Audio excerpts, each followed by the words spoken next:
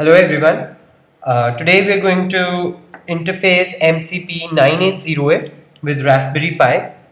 Let's first take a look about the device. Uh, let's go to controleverything.com and here let's see the device first. Uh, it's MCP9808.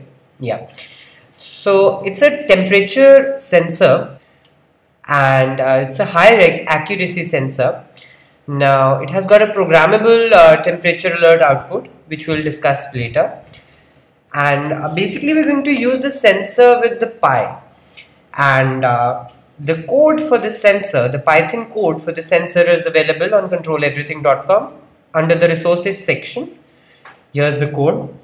Well, you can find the code on uh, our GitHub repository also, which is the Control Everything community.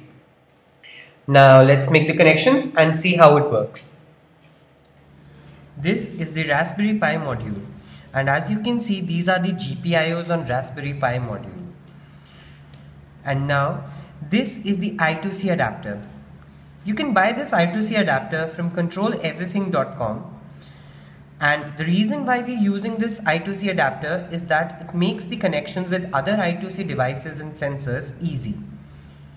Now Install this I2C adapter by gently pushing it onto the GPIOs of the Raspberry Pi module.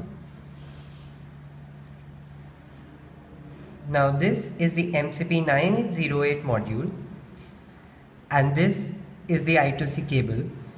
Please make sure while making connections that the ground is connected to the brown of the cable and similarly the ground is connected to the brown of the cable of I2C header.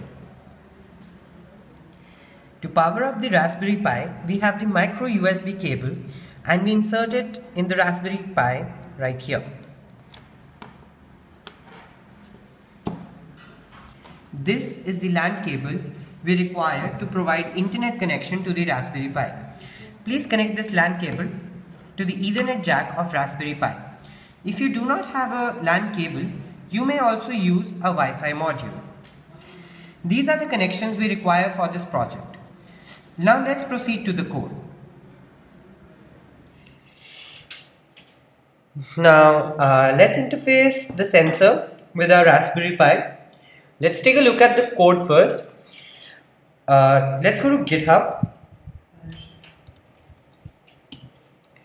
Here in GitHub you need to search control everything community.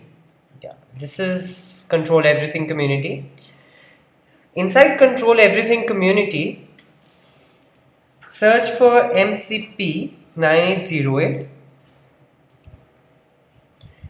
and in MCP 9808 let's first understand how to run the Python code. Here in the instructions as you can see you need to install the SMBus library to run a Python code.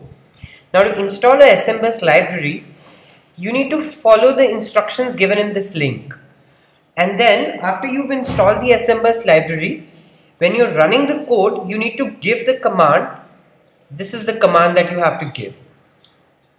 And let's see the code now under Python and here.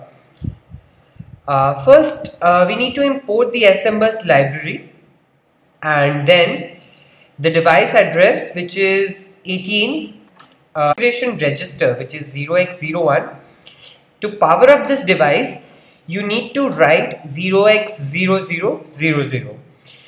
This is how you write it and then you need to set the resolution.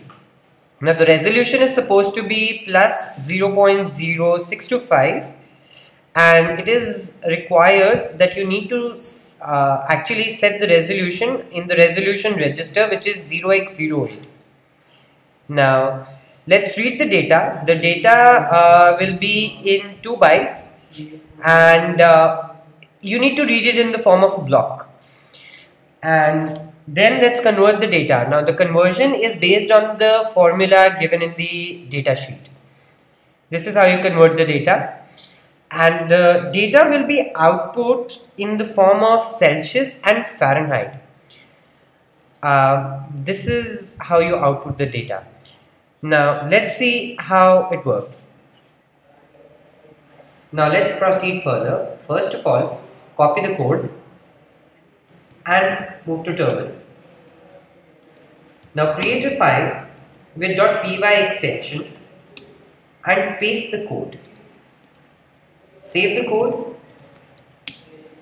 and now run the code as the command says. Now this is the temperature output. When I am pressing my finger on the code, the temperature changes. Similarly, if I do that again, it changes again. This is how the code works. Now that we have seen the working of MCP9808, let's take a deeper look inside the sensor.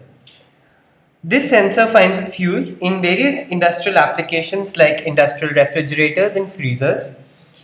And it is also used in various commercial and consumer electronics like PCs and uh, computing devices. For any kind of doubts and queries, you can ask us on our contact us page on controleverything.com. And you can even leave your comments on our community page on Control Everything. If you want to watch our video tutorials, you can even check out our hackster.io page. And you can even check out more on instructables.com. You can even subscribe to our page on YouTube.